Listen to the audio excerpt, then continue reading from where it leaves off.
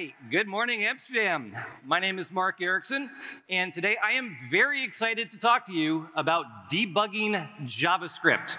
Um, fair warning, I've probably got about 40 minutes of content and uh, like 20 minutes to get through it, so I'm going to go a little bit fast. Uh, the slides all are already up on my blog, blog.isquaredsoftware.com.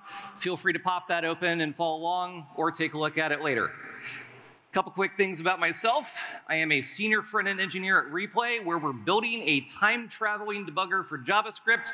We'll talk more about that in a few minutes. Uh, I answer questions anywhere there is a text box on the internet. I collect any link that looks potentially useful. I write extremely long blog posts, and I am a Redux maintainer.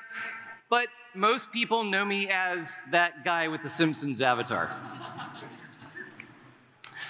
This is not a Redux talk, but I do have one Redux related piece of news. Uh, two days ago, while I was at the airport, I published Redux Toolkit 2.0 Beta.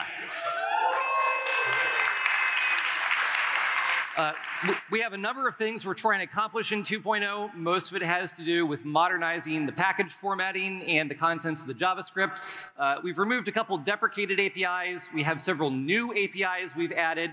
Uh, the biggest thing I would ask is that we would really like people to try it out in your applications right now, see how it works, give us feedback, tell us what things broke, tell us if the APIs are working, so that we can move forwards towards 2.0 final. I don't have an actual timeline. I'm hoping within the next few months, hopefully, if things go well. All right, let's talk debugging. Debugging is the process of finding problems in your program and trying to figure out what's going on. In other words, why is it broken and how do we fix it? Now, as programmers, we spend a lot of time doing things other than just writing code. We're communicating with our team, we're doing planning, design, discussions, code review. We spend a lot of time trying to figure out why the code we wrote is not working. And yet, a lot of developers are not actually comfortable doing this. And I've, I've, thought about this a bit. Like, I think the biggest problem is that our industry does not teach people how to debug. I mean, like, how many of you have a comp sci degree and yet never had a course in debugging?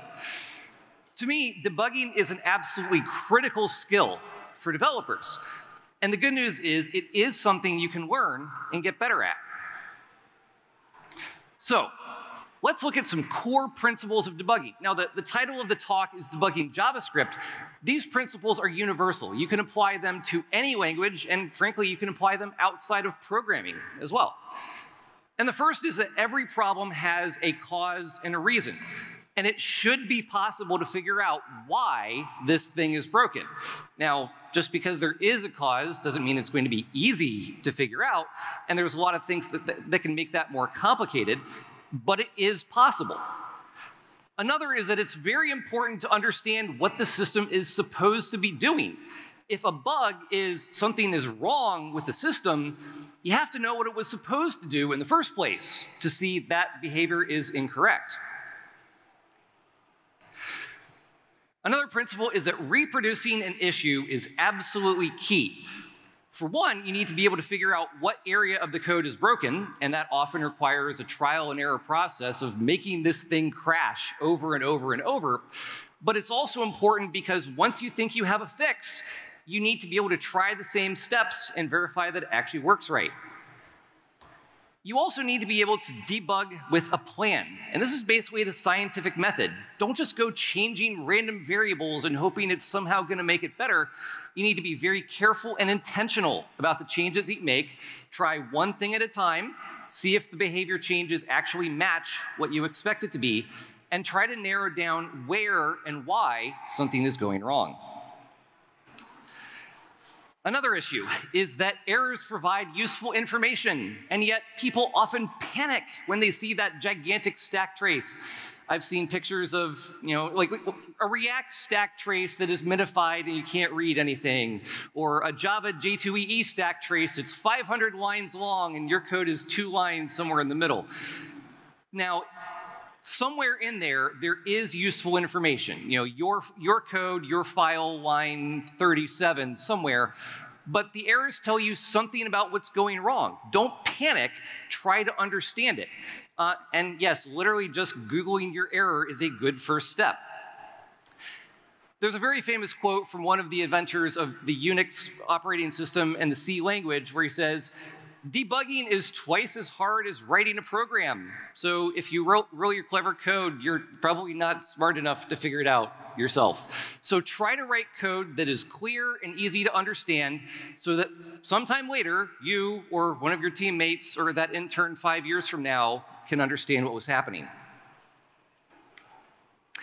In general, the steps for debugging look something like this. First, you have to understand what is this, the description. You know, someone filed a bug report, what are they actually even trying to say is wrong? Second, reproduce the issue. You have to be able to find reproducible steps that make the error happen. You know, open up the app, click this tab, click that button, kaboom. Then, and this is the hard part, try to figure out why it's happening.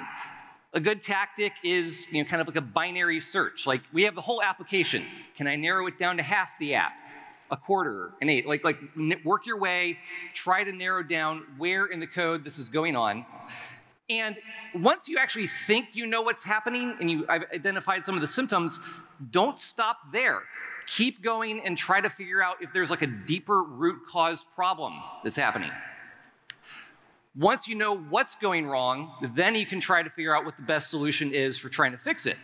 And this is where you know, constraints come in. You know, maybe it's a one-line fix. Maybe you think you need to rewrite the entire subsystem, but you don't have time because your team's already overloaded. Maybe the code is really complicated. Try to figure out what is the right amount of effort needed to make the appropriate fix. Then actually fix it, and ideally add more tests and checks so that this doesn't happen in the future.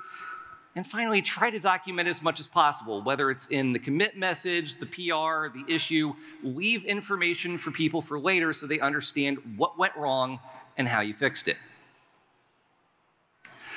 Couple other tips. Use the right tool for the job. There are many different tools to use for debugging. We'll talk about some of them in just a second.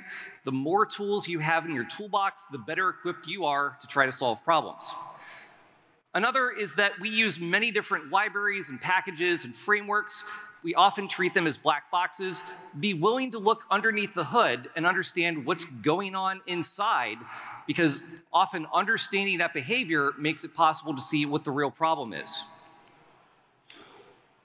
Another is just don't be afraid. You know, you, you see that giant error stack trace or you've, it's a piece of the system you've never worked on before, and you might panic, especially if you're new to the team. Don't be afraid, take your time, think through it. It is something you can figure out. And then this is something I struggle with. It is very easy to get caught up in chasing it and like, I'm this close to fixing it, I'm this close to fixing it and get stuck. There are times you just need to walk away, take a breath, get some sleep, come back the next day. There's been multiple times I fixed something like five minutes the next morning after being stuck for hours the previous day. All right, I'm going to have to keep on going. There's a lot of debate about should I use print statements or graphical debuggers? And I say, why not both? They are both wonderful tools. Print statements are very easy to add. They show you changes to the system over time. Graphical debuggers help you focus on a specific piece of code and go through it step by step and inspect the contents of the running program. These are both great tools to have in your toolbox. Um, different system, different languages have different kinds of print statements available. Uh, you can add timestamps. You can have different levels of logging. In JavaScript, this is mostly done with the console methods, or you might have a logging library like Winston. Uh, there are different methods for different levels. The console API also has things that let you do like print objects as a table, group messages together. Uh, one common problem I see is that people log an object or an array, and sometime later they expand it, and the context look, contents look different. It actually shows you what it contained at the time that you expanded it, not at the time that you logged it in the first place. This that confuses a lot of people. Also, most JavaScript libraries are distributed as source files on disk in node modules. You can edit those yourself, but like try to remember to remove the log statements later. Most graphical debuggers have the same kinds of commands and buttons inside. Uh, breakpoints let you pause at a certain point in the program. Uh, usually you would set those by left-clicking on a line number.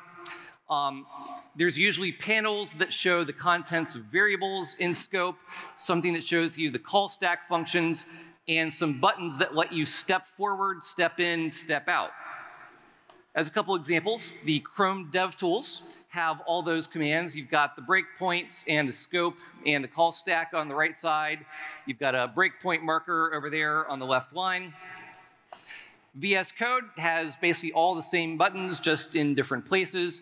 So these are, these are all very common pieces to every IDE and every debugger. Uh, let's see, let's skip past some of this.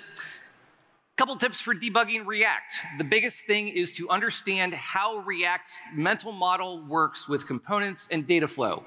React renders, components, parents pass data as props to their children, children pass data back to their props via callback functions. If your UI is, if the stuff on the screen is wrong, either your data was incorrect or the rendering logic was wrong. If the rendering logic is right, look at the data. Where did it come from? It came from the parent, it came from Redux, it came from Apollo. Trace the data back to where you found it. Also, be sure to use the React DevTools. The React DevTools browser extension will show you the component tree. It allows you to select a component, inspect it, and look at its prop state and hooks. Similarly, with Redux, it's, it's, very important to understand the Redux data flow. You dispatch actions, reducers update the state, the UI re-renders. Uh, similarly, there is a Redux DevTools extension that shows you the history of the dispatched actions. For each action, you can inspect the contents of the action, the contents of the state, and the diff of the state as a result of that. So these are all very valuable tools to have in your toolbox. Okay, we might actually pull this off about on time. All right, so corporate job sales pitch. My day job is working for Replay. I mentioned this, and we're building a true time-traveling debugger for JavaScript. Now, it's, it's kind of ironic because the original sales pitch for Redux was time travel debugging, and it's that. Replay is that like times a million. One of the hardest parts of debugging is you have to be able to reproduce the issue. And sometimes that can take a lot of steps. And you, you pause at a breakpoint, you step, you say, uh, whoops, I went one line too far.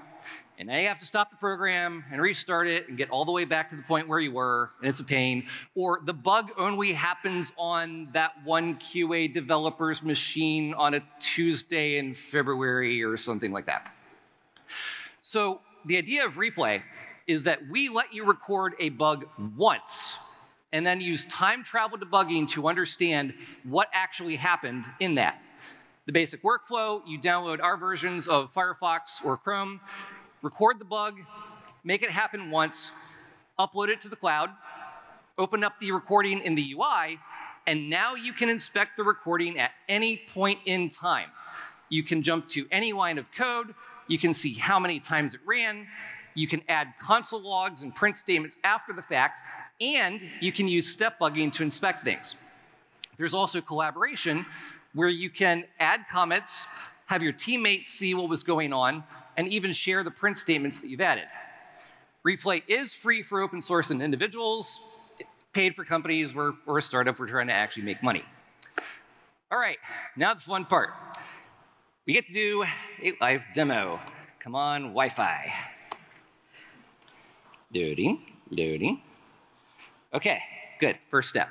So this is the replay UI. This is a recording I made quite a while back of the example from the Redux fundamentals tutorial. So we've got the viewer, I can see what the application looked like at the time it was recorded. I can jump to a couple different points in time and see what the UI looked like. But I can flip over to DevTools mode. And this is basically like the Firefox browser dev tools in a browser, because that's actually where our code base started.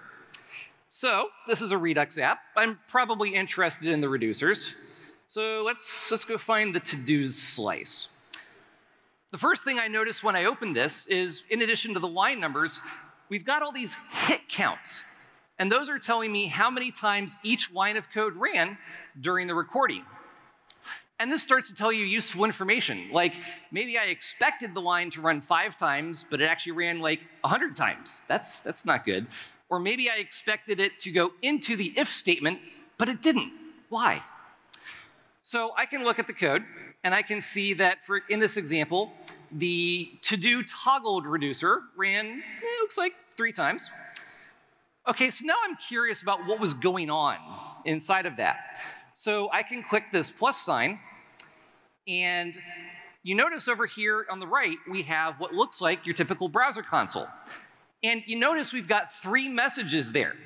And that's because that line of code ran three times, and it's evaluating the message at each line.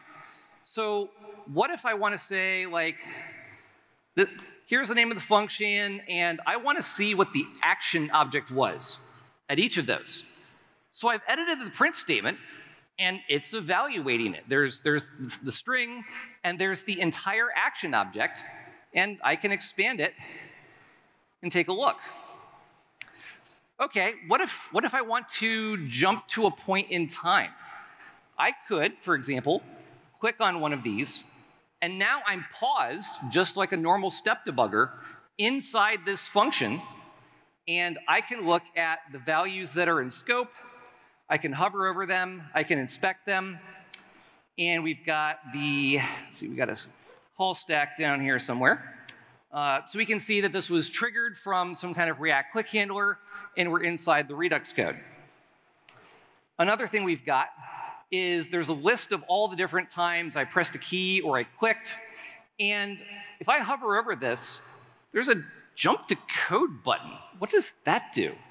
Well, it just jumped me right to the line of code where I dispatched, a, where I ran a click, there's my on-click prop handler, and now I can start inspecting the code even further.